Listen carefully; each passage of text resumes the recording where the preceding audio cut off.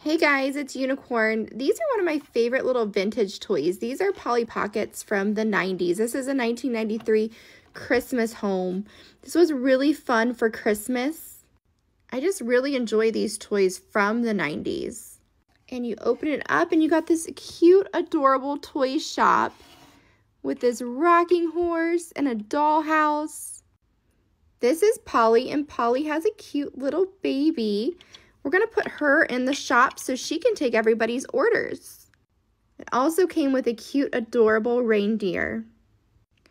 She can go down the slide, wee! Or she can play in the airplane. Whoa, she fell out. I was going a little too fast. Do you want to do the rocking horse, Polly? I think that will be a little bit better for her. So that way we're not going too fast. And then you got jump rope, a skateboard, and a little desk behind here.